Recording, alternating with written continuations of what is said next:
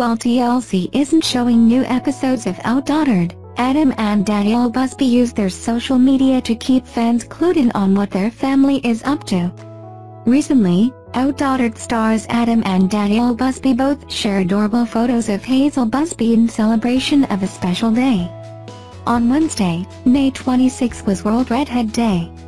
A lot of fans seem to have soft spot of Hazel Busby. This could be for several reasons. For example, she regularly has to go to the eye doctor for her nystagmus.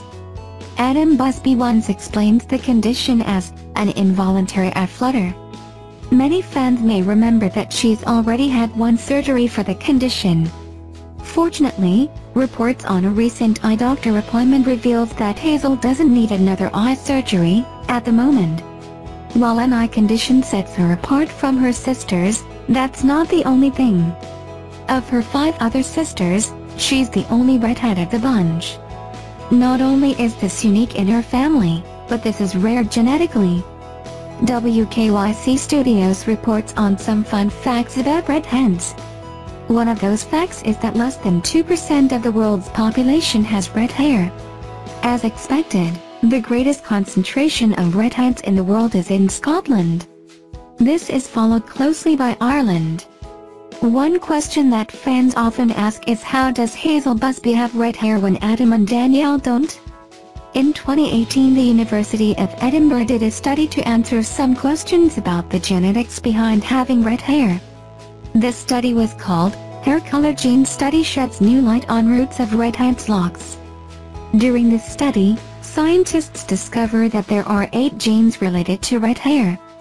Previously, it was thought that a single gene, MC1R, controlled red hair. Additionally, Stanford University revealed that both parents must carry the redhead gene for a baby to have red hair.